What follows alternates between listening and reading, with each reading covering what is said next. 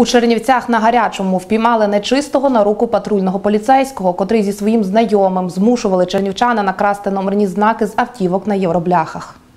Департамент внутрішньої безпеки та департамент патрульної поліції НПУ повідомили, що затримані зі своїм спільником, залякуючи і застосовуючи фізичне насилля, змушували чернівчанина красти номерні автомобільні знаки, повертаючи їх за винагороду власникам. Зловмисники вимагали від своєї жертви щотижнево віддавати їм тисячу гривень. Підозрюваних правоохоронці затримали на хабарі у 5 тисяч гривень. За цим фактом прокуратура Чернівецької області розпочала кримінальне провадження. Також під час огляду у спільника вилучили кокаїн вагою 1 грам та тисячу євро. Зараз тривають слідчі дії щодо оголошення підозри чоловікам та обрання запобіжного заходу. У разі доведення провини затриманим загрожує позбавлення волі терміном від 5 до 10 років з конфіскацією майна.